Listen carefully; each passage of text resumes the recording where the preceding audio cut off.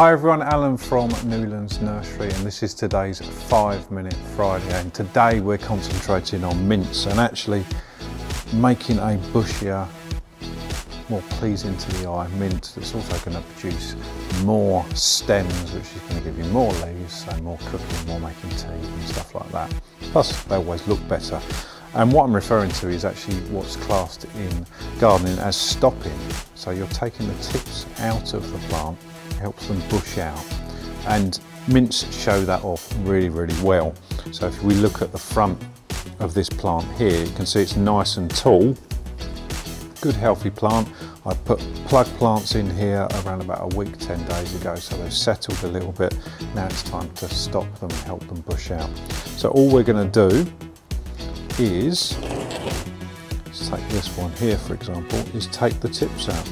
So I find a stem that I'd like to be shorter and more bushy and a plant that I'd like to be more bushy and I cut off just above a break in the leaves here, so a leaf break here.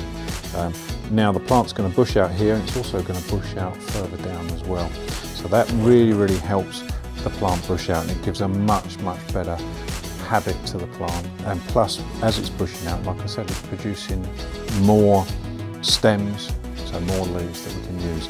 And you can use these, you can either put this in as a cutting, so mint plants are nice and easy to root, so you can plant that as a cutting, or you can go and make, this one's Moroccan mint as it happens, so you can make a nice Moroccan mint too And you can see from this front one here, one I've done earlier.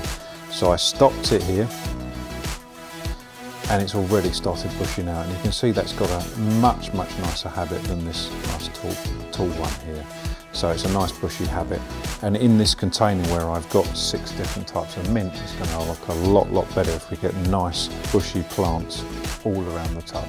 So it'll look a lot better. So it's nice and easy to do. I'm just going to work my way round here and cut all of them, stop all of them help them bush out and we go from there. It's as simple as that. As always with any of these five minute Fridays, and this one's a nice simple one, but it does make a massive difference. It doesn't have to be mint, you can do it in loads of different plants as well. But if you've got any questions, not sure what plant to do it with, or you think you've got a plant that will benefit from us, get in contact. We're here to help.